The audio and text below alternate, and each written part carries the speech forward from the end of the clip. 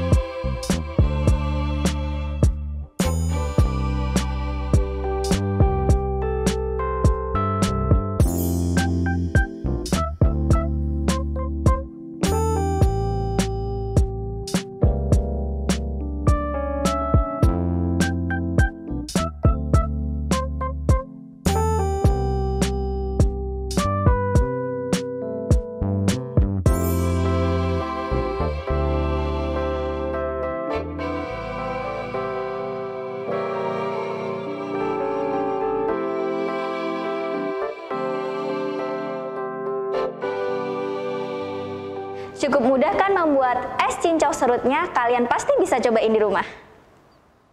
Terima kasih sudah nonton. Jangan lupa like, subscribe, dan share ya.